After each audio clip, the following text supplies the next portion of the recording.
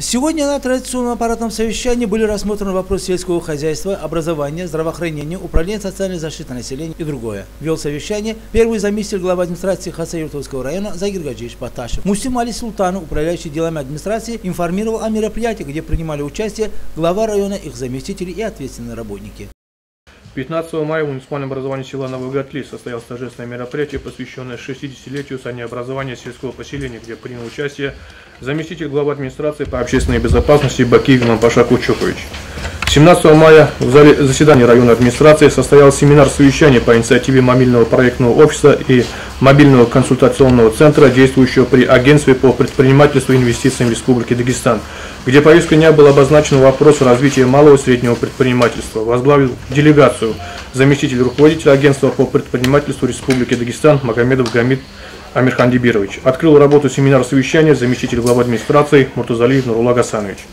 17 мая в администрации муниципального района состоялось заседание Межведомственной комиссии по определению численности неработающего населения, учитываемого при расчете объемов страховых взносов из республиканского бюджета Республики Дагестан Федеральный фонд обязательного медицинского страхования и повышения уровня собираемости страховых взносов в Пенсионный фонд Российской Федерации в режиме видеоконференц-связи под руководством заместителя председателя правительства Республики Дагестан, министра Минэконом развития Республики Дагестан Юсуфа Райдина Айдакадьевича. В работе селекторного заседания принял участие заместитель главы администрации муниципального района Муртазалиев Нурула Гасанович. 17 мая в Махачкале состоялось заседание Президиума регионального политического совета партии «Единая Россия» по вопросу о ходе реализации федерального партийного проекта «Городская среда» и обсуждение ряда других вопросов под председательством секретаря регионального отделения партии «Единая Россия», председателя Народного собрания Республики Дагестан Хизри Шихсаидова. В работе заседания принял участие глава муниципального района Салав Джамладшапиевич.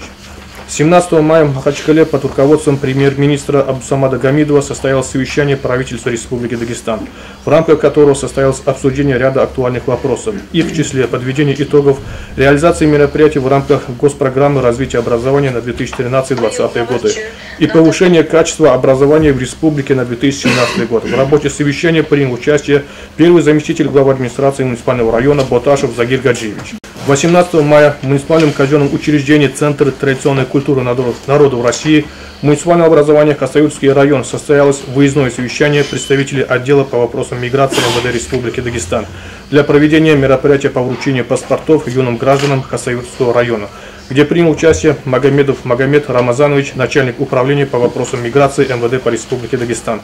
Открыл работу совещания глава муниципального района Салав Джамблат Шапиевич. 19 мая в Исламском университете имени Саидбека Даитова в городе Хасавюрт состоялся всероссийский конкурс молодых алимов и хафизов, где от администрации муниципального района принял участие заместитель председателя собрания депутатов муниципального района Лавазаров Магомед Магомедович, который от имени главы муниципального района поздравил отличившихся конкурсантов и вручил ценные подарки.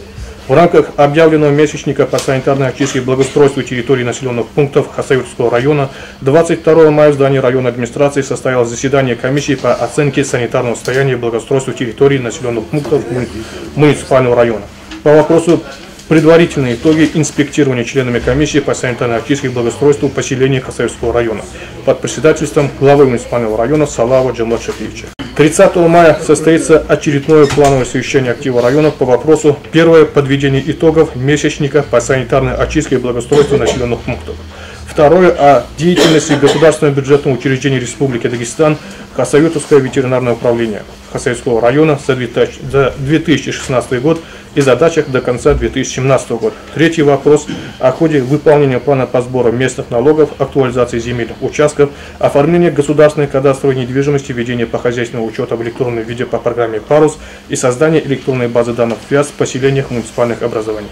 Практически завершен сев Яровых. Со слов Изамитина Иризбиева, начальника управления сельского хозяйства, остается тысячи гектаров до завершения Ярового сева. В селении Новый Костек подготовлен аэродром для малой авиации на случай появления саранчи. В районе на этой неделе завершается Яровой сев. На сегодняшний день Яровой сев проведен на площади 32 тысячи гектаров, осталось еще посеять тысячи гектаров. Подводим итоги посевов. Это отчет у нас называется 4 который составляется на 1 июня. Хозяйство района сейчас форме подготовка комбайнов и другой техники. Специалисты управления сельского хозяйства регулярно совместно с специалистом Россельхозцентра обследуют сельхозугодие района. На момент выявления очагов саранчи пока очагов не выявлено. Вчера тоже выявляли, уезжали. В селе Новый Костек подготовили аэродром, он 30 лет не использовался, заросший был деревьями, мы раскорчевали там, все осталось всего сделать планировку рейдером, почти он готов, на всякий случай подготовили его. Основным вопросом совещания в районном управлении образования стал единый государственный экзамен. Проведен промежуточная ЕГЭ, а остальная работа проводится в штатном режиме, говорит Абдулла Абдулаев, начальник районного управления образования. Вчера на очередном совещании работников управления образования основным вопросом обсуждения было это промежуточная аттестация в форме экзамена и контрольных работ в образовательных организациях и подготовка к единому государственному экзамену. Э, процесс промежуточной аттестации в районе идет в штатном режиме. Пункты для сдачи единого государственного экзамена полностью подготовлены, тестирование прошло и получили лицензию Оборнадзора Республики Дагестан. Сегодня состоится три часа совещания о ходе подготовки единого государственного экзамена. Проводит сам глава Республики Дагестан. На совещании принимает участие руководитель Рособорнадзора Российской Федерации. Основная работа идет в штатном режиме заработной платы и по другим выплатам. Задолженности нет. 26 числа и э, в Махачкале состоится совещание с участием начальника управления образования. Завтра у нас идет онлайн режиме с руководителем пункта и организатором единого государственного экзамена. Идет и новое обучение организатора единого государственного экзамена. Работа проводится в образовательных учреждениях с выездом на месте работника управления образования. За истекшую неделю в Центральной районной поликлинике принято 2010 больных, в том числе 915 детей. Основное внимание уделяется по предотвращению укусом клещей во избежание конго-крымской лихорадки. За истекшую неделю в Саратовской ЦРП было 2010 э, э, посещений, из них детей 915. При э, флюорообследовании выявлено трое больных с патологией. Они проконсультированы врачами нашей поликлиники и направлены на дополнительные исследования. Врачи, э, и онколог выезжали в селение Покровское для осмотра тяжелых больных на дому. Всего за неделю флюорообследование охвачено 347 человек. Состоялся выезд еще детской бригады в селение Состли и в селение Дзержинское, где осмотрено и обследуем детей 205 детей.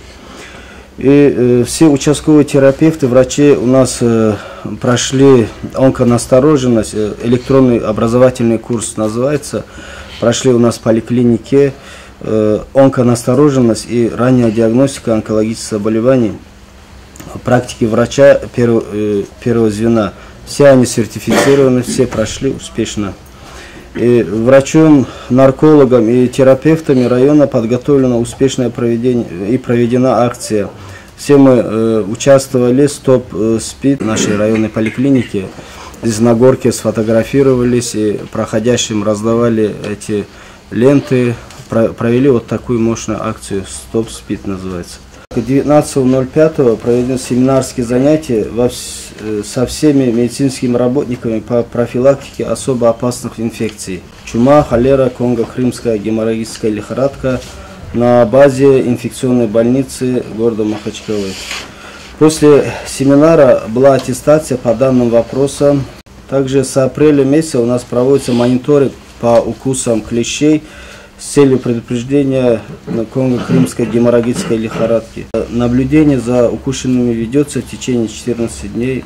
Ежедневно проводится плановая работа по проведению профпрививок. Также эпидемиологическая обстановка э, по району благополучная, порог вирусов инфекции не превышает нормативы.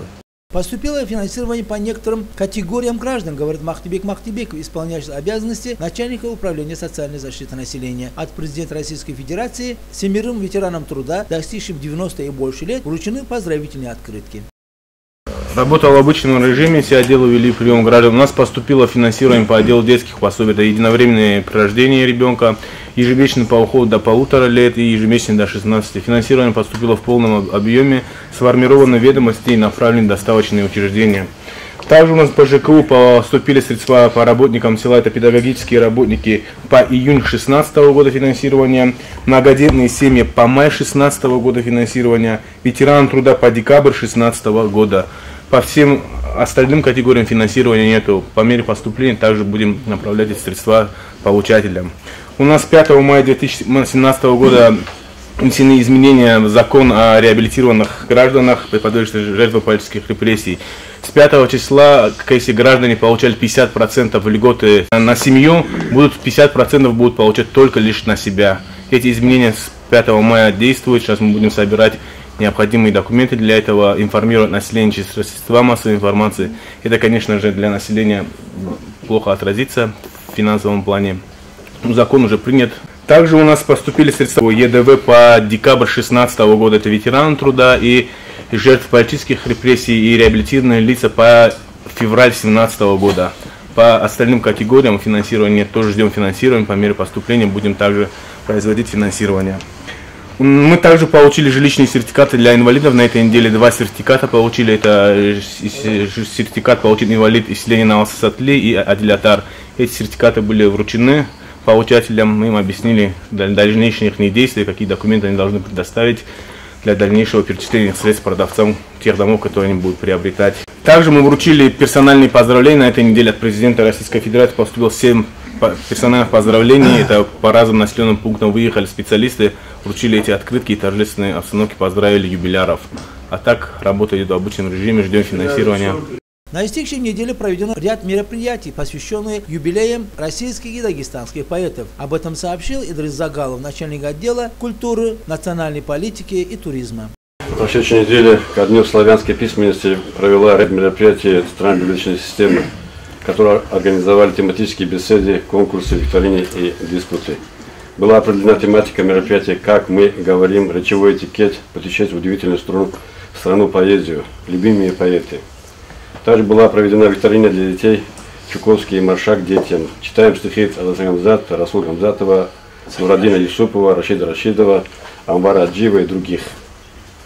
В Центре традиционной культуры состоялся отчетный, э, состоится отчетный концерт завтра детской школы искусства. Программа очень насыщенная, подключение участвуют воспитанники э, филиала школы Могилевская, Сивур, Костек, Эндерей. Всего на сцену выйдут завтра около 120 детей – нашей школы искусства и много программ, если кому интересно посмотреть танцы наши, наших детей, приглашаем всех. Центральная библиотечная система готовится к открытию месячника «Пушкинские книги», который включает в себя организацию конкурса чтения произведений Александра Сергеевича Пушкина, организацию электронно-музыкального гостиной, оформление книжных выставок по произведениям Александра Сергеевича Пушкина.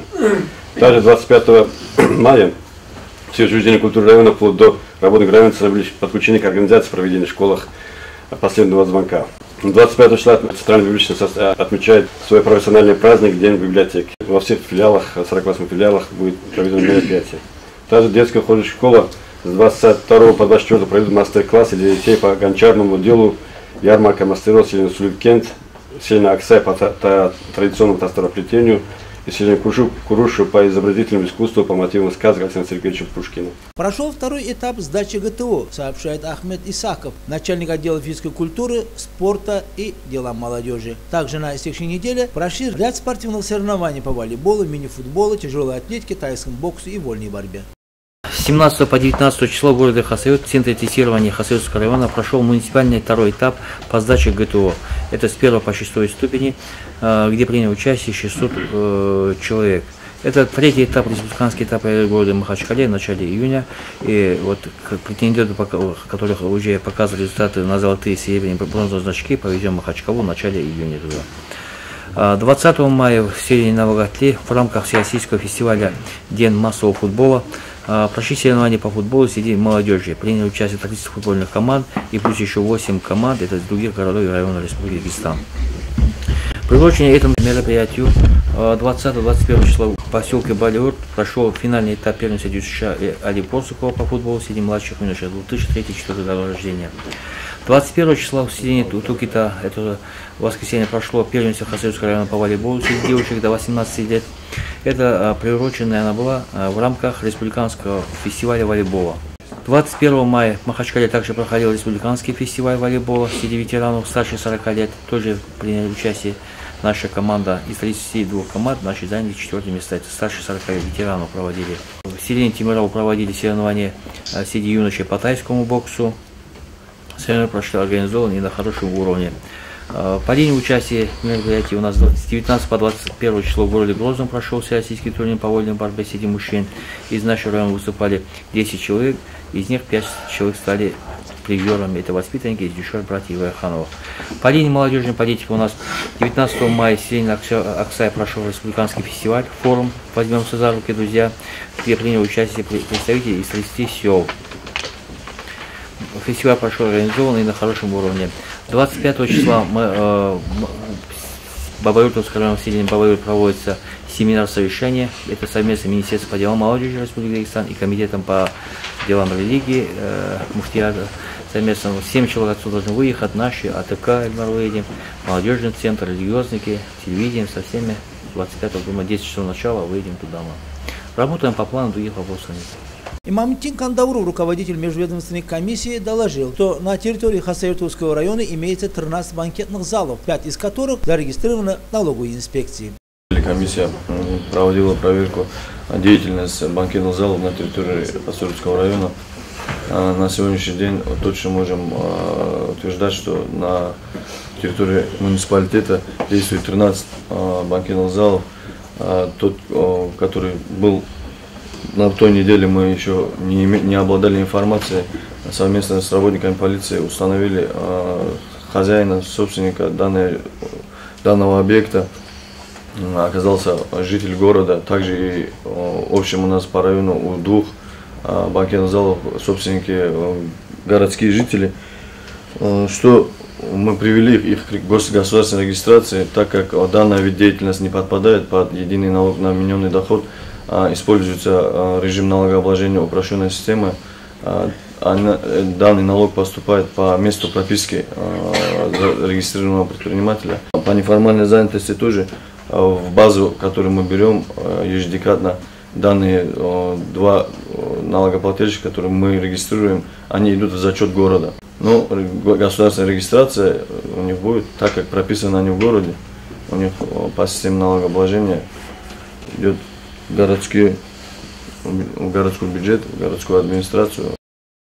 Также о проделанной работе выступили Руслан Чураев, руководитель пресс-службы главы, Маржанат Хамаува, главный специалист Росстат управления, Магомед Султанбеков, исполняющий обязанности начальника Межрегионгаз Махачкала, Чубая Хасаева, главный специалист управления экономики, Салим Джумаков, заместитель начальника полиции отдела МВД по Хасаевтовскому району и другие. 25 мая во всех школах пройдут последние звонки. Назначены ответственные и от имени главы района будут поздравлять выпускников с последним звонком. После этого этого и других объявлений аппаратное совещание завершилось.